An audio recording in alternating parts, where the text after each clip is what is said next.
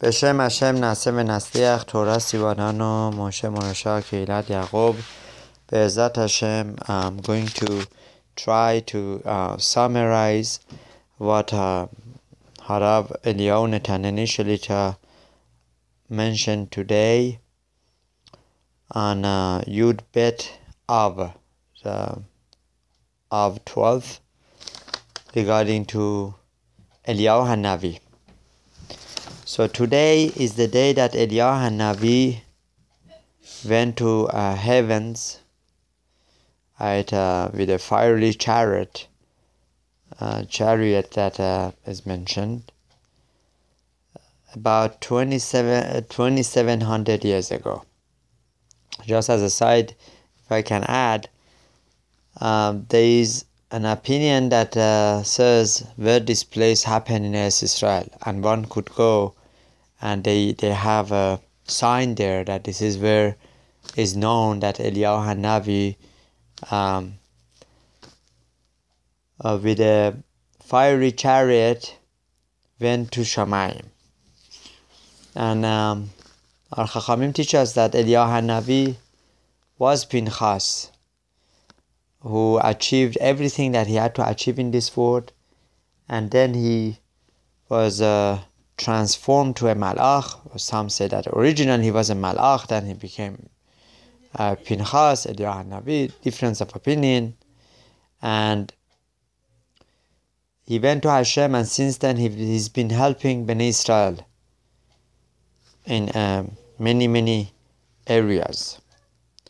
So, because of this, it's, uh, it's known to know, it's good to know that every Mosai Shabbat we come and ask Hashem that Hashem should send us Eliyahu Navi.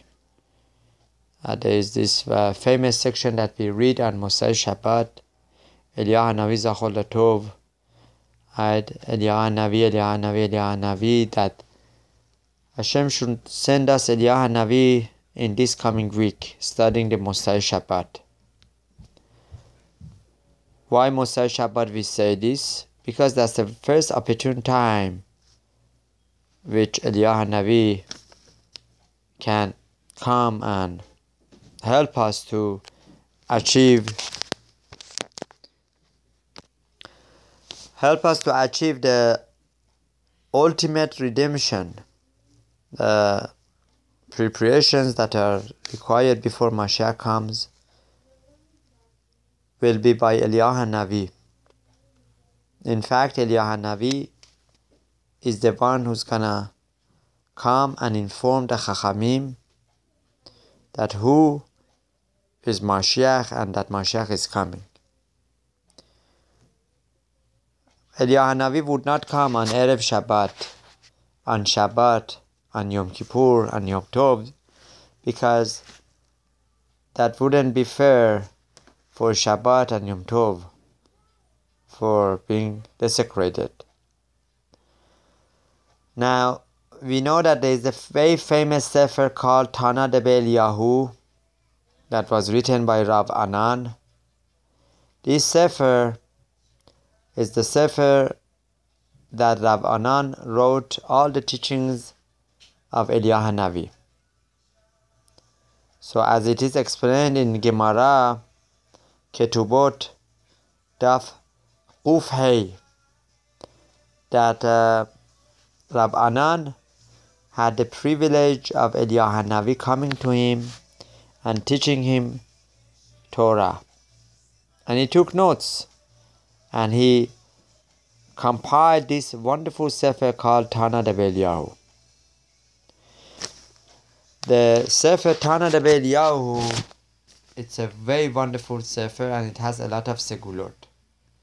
Those who study it, who learn it, it's gonna help them to get cure if chas v'shalom they, they, they're suffering from a sickness or if they need refuah Even uh, 10 15 minutes a day is going to be very helpful. Another segula of Tana devei Eliyahu is if a person is suffering from nightmares or dreams that are not, uh, you know, pleasant to him. By reading Tana Devei Eliyahu, especially particularly going before going to sleep, it's going to help him not to have bad dreams. Even so for the children, children who have a hard time falling asleep or they have nightmares, their parents can just read it to them. It's hard to understand on the video, obviously. It's a high level. but just reading it to, to them, it's going to be very helpful uh, avoiding any nightmares. Another segula of Tana Yahu, which is very much recommended, especially for adults men, is that by reading Tana de uh, uh, Yahu, it's going to stop or uh, make uh, Sheikh Fazar less to uh, some extent. Obviously, there are many other ways that a person needs to watch himself, particularly his eyes.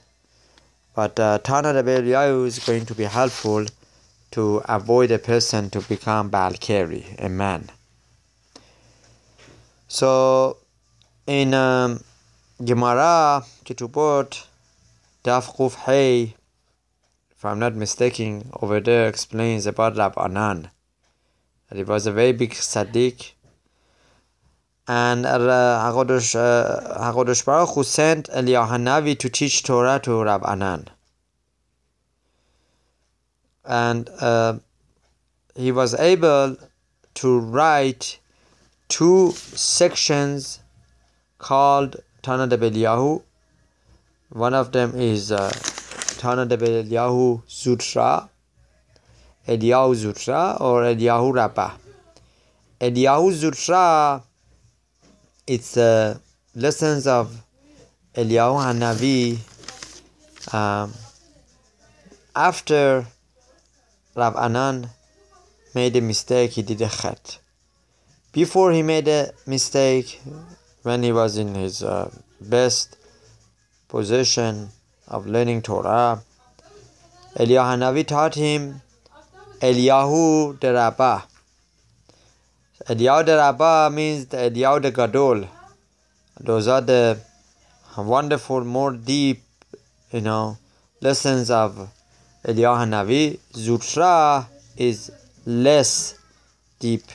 It uh, was all the teachings that was teaching uh, that was taught by Eliyahu Navi to Rav Anan after he made a chet. Now, why is this uh, Sefer Tana de Eliyahu has two sections? Because uh, Eliyahu Navi is very sensitive on, uh, on seeing a person making a chet if a person makes a chet, then Eliyahu Hanavi might not come to learn Torah with him. Obviously, the person needs to be on a very high level that Eliyahu Hanavi comes uh, teaching him Torah.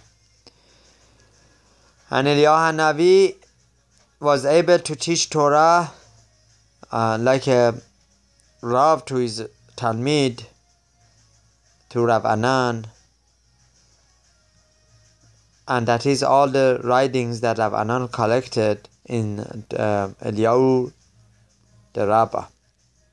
But after he made a chet, no more he was allowed to sit in front of Eliyahu Navi and write it. And he was uh, he had to go in a box and close the door, close the top of the box, not to see Eliyahu Navi and ask asking him his questions and writing the answers. So in the in the Sefer Tana de Eliyahu they have they have a uh, put these sections of the teachings in uh, many forms of questions, answers, uh, even in the seder of the parshiot, that one could uh, read them and understand them.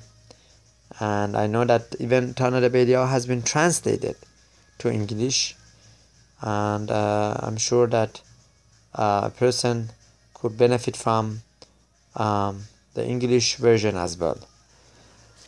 Now, talking about the Navi being very sensitive when a person does a chet, um, Harab Eliyahu Netanyahu initially explained no, that there was this uh, Rav, this Rav, this Chacham, that had a servant.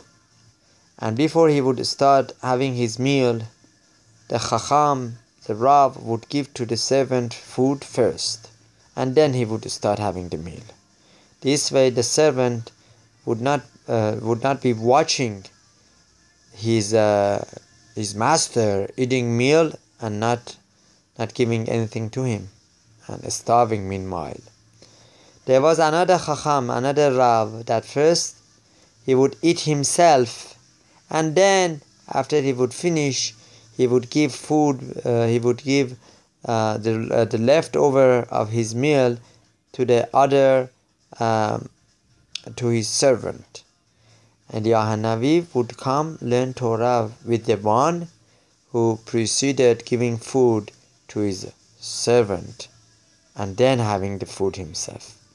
So from here we learn how Eliyahu was sensitive and careful uh, for Adam lechaviro, the relationships between a person and his friend, and not necessarily has to be a person and another Yehudi, even a goy. Another story is uh, mentioned um, that uh, Rav Yehoshua ben Levi was a very big Rav. Once he saw from far away, perhaps from 100 kilometers away, he saw a Yehudi being torn apart, being eaten up, lo alenu, by a lion. And from that time and on, Eliyahu did not come to Rav Yehoshua ben Levi teaching him Torah. Why? What was his mistake? What did he do wrong? What happened that Rav Yehoshua ben Levi lost the privilege of uh, learning Torah from Eliyahu Navi? Our Chachamim teach us because Eliyahu Navi had tain on him. He had complained against him. Eliyahu Navi I knew that he could have prayed, he could have davened, and uh, with more kavanah, had more powerful prayers, stopping that lion eating up a Yehudi, and he didn't. So he was he was guilty himself. Rav Yehoshua ben Levi was guilty. He could have stopped it.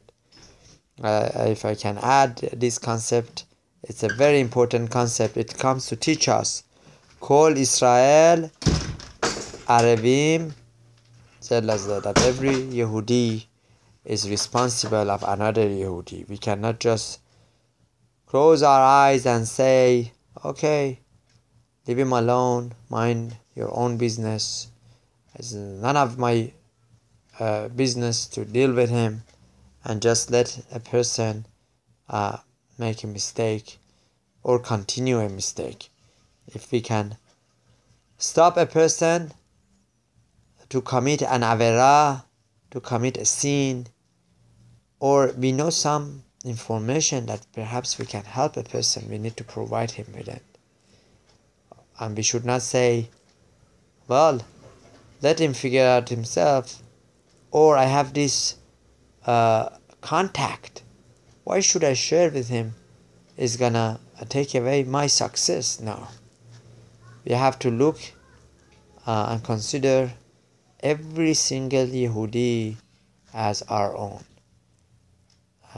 ואהבת לך כמוך זה כלל גדול בתורה.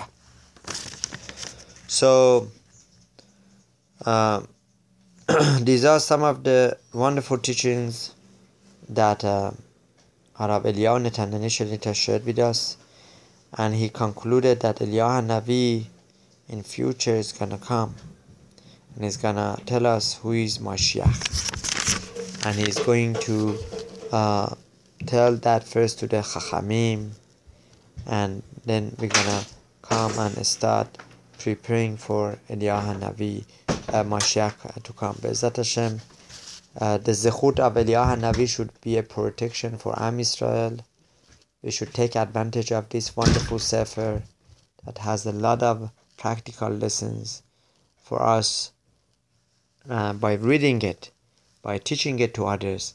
Bezat Hashem. Bezat Hashem, we should be zoche to hear uh, the footsteps of Eliyahu Navi coming, followed by Mashiach Tzidkenu Bimhera Amenu. Amen.